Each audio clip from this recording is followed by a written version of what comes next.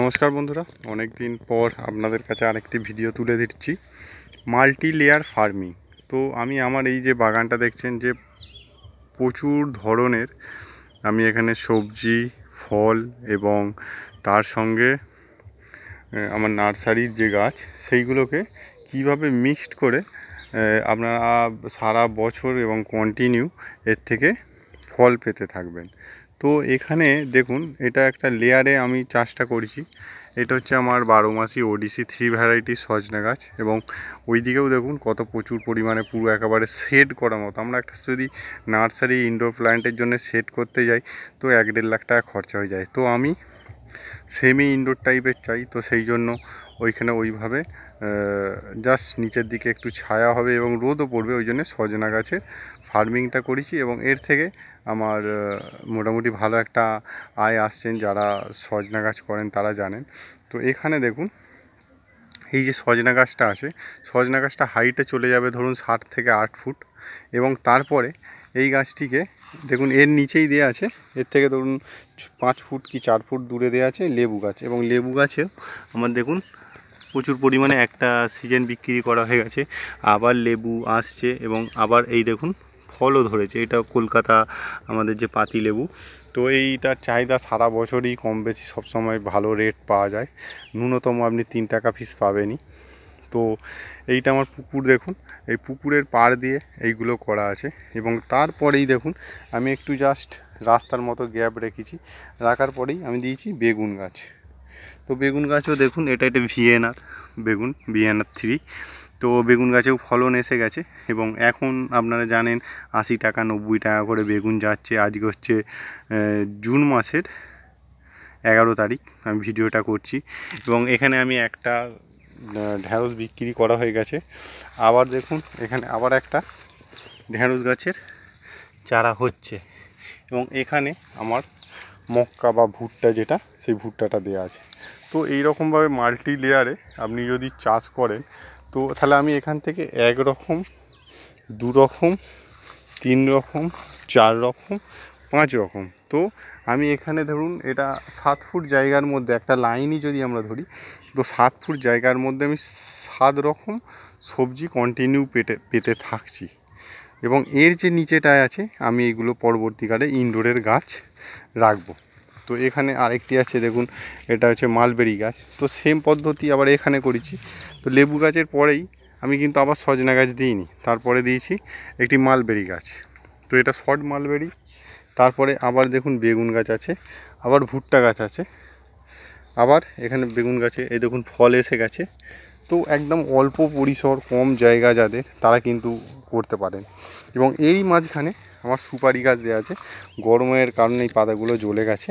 তো আবার সুপারি গাছের মাঝখানে আমার এই দেখুন আবার নতুন ঢ্যাঁড়স গাছের চারা দেওয়া আছে, খুব ভালো হচ্ছে। জাস্ট এবার এটাকে আমি শুধু গোড়ায় একটু মাটি দিয়ে দিলে হবে। তো এই যে আপনার এ গাছগুলো আছে, সুপারি গাছ ওর মতো বড় হবে, অল্প জায়গার মধ্যে। আবার দেখুন এখানে ঢ্যাঁড়স ধরে আছে। তো এইটা আবার খাওয়ার যোগ্য হয়ে গেছে। আবার এখানে মিডিয়াম চারা হচ্ছে, আবার বড় চারা হচ্ছে। এখন ঢ্যাঁড়স আপনার ষাট টাকা, আশি টাকা করে যাচ্ছে।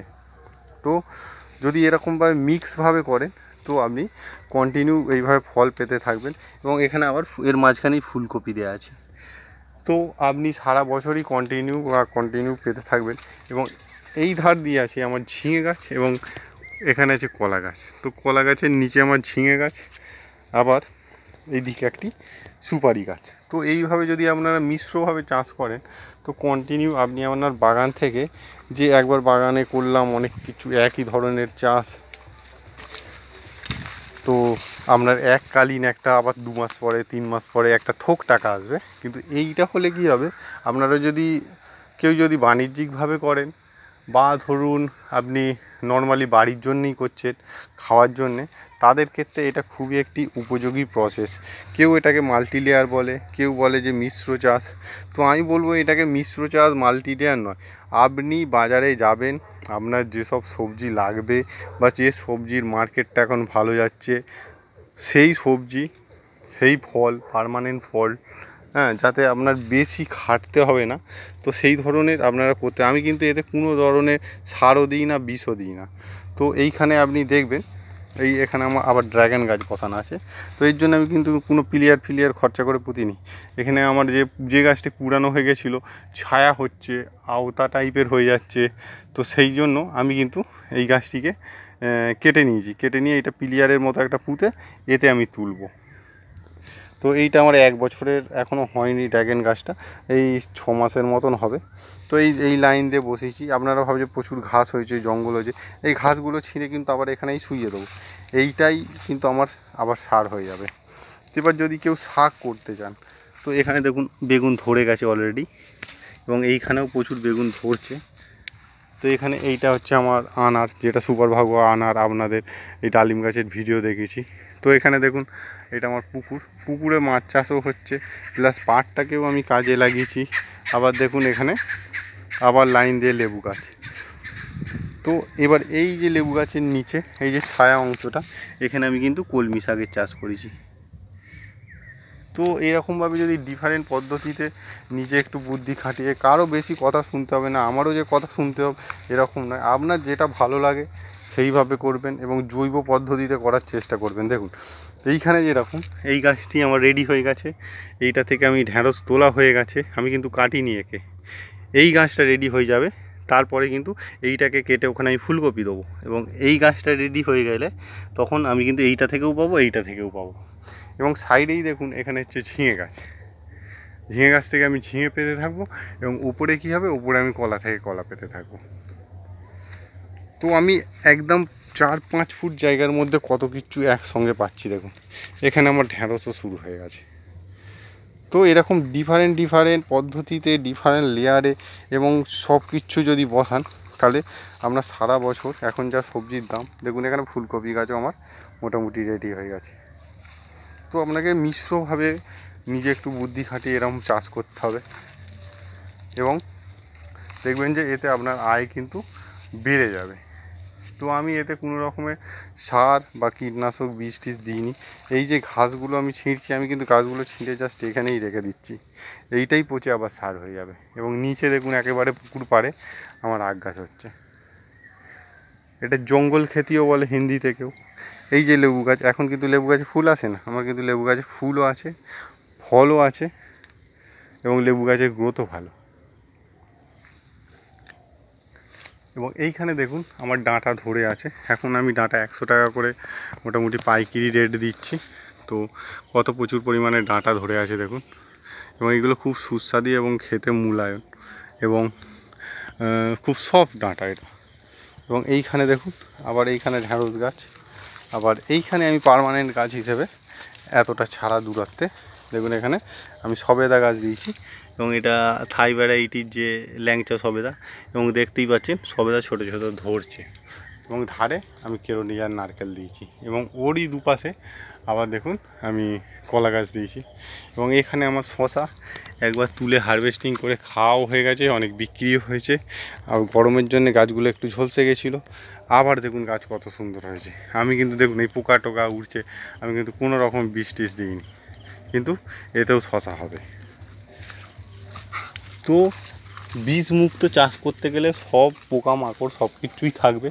আপনারা নিম অয়েলটাকে স্প্রে করতে পারেন। তো এই শশা উঠে যাবে। উঠে যাওয়ার পরে দেখুন এখানে আবার ঢ্যাঁড়স গাছ দেওয়া আছে। এবং এইগুলোতে আমার ঢ্যাঁড়স হচ্ছে। আপনারা দেখতেই পাচ্ছেন। এবং এখানে এইটা হচ্ছে আপনার আম গাছ। এবং এইগুলো পারমানেন্ট প্লাট এইগুলো আবার যখন রেডি হয়ে যাবে, আবার দেখুন এখানে শশা হয়েছে।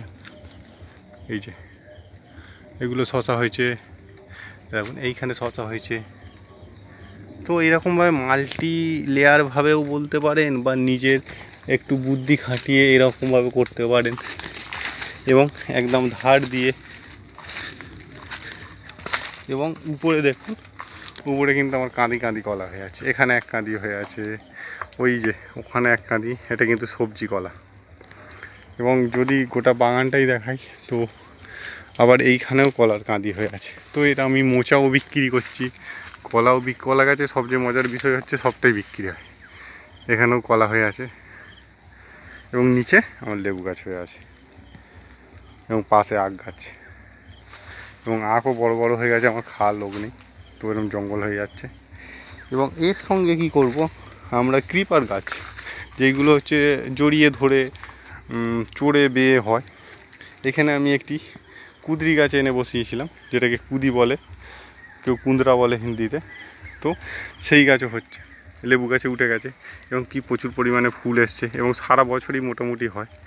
এবং এতে জড়িয়ে হয়েছে। এবং উপরে সজনা গাছ, এখানে দেখুন কত বড় কুঁজি হয়ে আছে। সাইজটা দেখে নিন। এবং এখানে একটি সজনা গাছ, আবার এখানে আমার কলা আছে, আবার এইখানে দেখুন, এখানে বেগুন গাছ। আমি কিন্তু কোনো ধরনের বীজ টিস কিচ্ছু দিই না। তো ভিডিওটা লং হয়ে যাচ্ছে। তো আজকের মতো এখানেই শেষ করছি। নমস্কার।